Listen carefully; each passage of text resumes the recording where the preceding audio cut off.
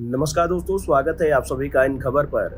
लोकसभा चुनाव में बीजेपी की सीटें कम होने की जमीनी पड़ताल करने आए राष्ट्रीय संगठन महामंत्री बी एल संतोष ने रविवार को दलित मंत्रियों और बीजेपी अनुसूचित मोर्चे से सवाल किए। उन्होंने सीधे पूछा कि आपके समाज के वोट क्यों कम हुए? क्या वजह रही और इसे अब कैसे ठीक किया जा सकता है?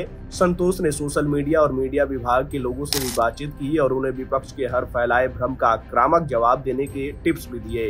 यूपी में सात दलित मंत्री सरकार में हैं। लोकसभा की जमीनी पड़ताल में सामने आया कि जब विपक्ष ने संविधान बदलने और आरक्षण खत्म होने का नैरेटिव फैलाया तो कोई भी अपने समाज में भी वोटर को समझा नहीं सका। कई लोकसभा सीटों पर तो यादव और दलित एक साथ आ गए। सपा की ओर खिसक गए।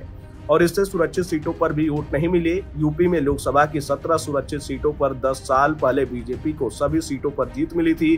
2019 में सिर्फ़ 14 सीटें ही बीजेपी के पास रह गईं।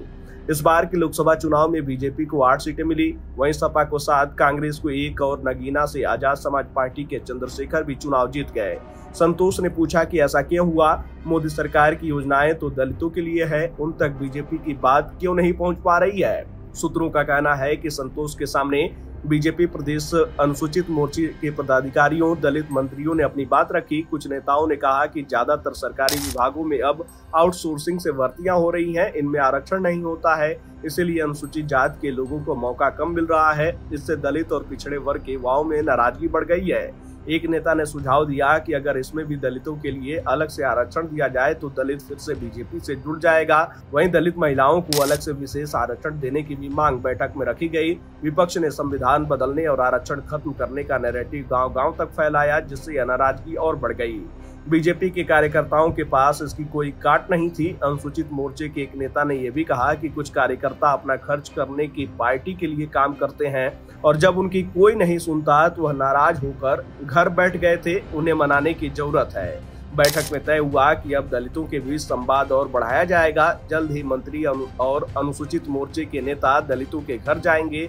हर मंडल में छोटे छोटे सम्मेलन आयोजित किए जाएँगे। सभी अभियानों में दलितों की भागीदारी बढ़ाई जाएगी। इसके लिए पूरा प्लान तैयार किया जा रहा है। वहीं संतोष ने बीजेपी की सोशल मीडिया टीम को भी टिप्स दिए। उन्होंने कहा कि आपके पास इतनी लंबी टीम है। पूरे प्रदेश में मंडल स्तर तक की टीम को ट्रेनिंग देकर विपक्ष की बात की काट हर घर तक पहुंचानी चाहिए।